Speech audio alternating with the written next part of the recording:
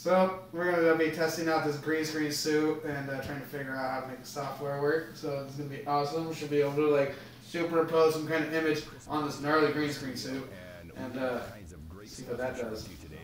Awesome sauce. to take care of. We will.